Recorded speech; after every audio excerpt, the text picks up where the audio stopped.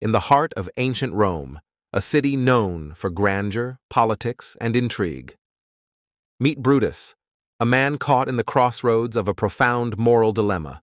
Julius Caesar, a magnetic and charismatic leader, poised on the brink of supreme power. A cryptic and eerie warning, delivered by a soothsayer, echoed in the air. Beware the Ides of March. Brutus, a loyal and honorable friend to Caesar, grappled with an agonizing decision. As the Ides of March dawned, betrayal unfurled within the solemn halls of the Roman Senate.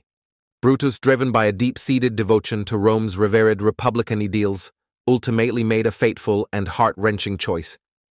The intricacy of Brutus's moral dilemma stands as a testament to the intricate interplay of loyalty, duty, and the haunting specter of fear.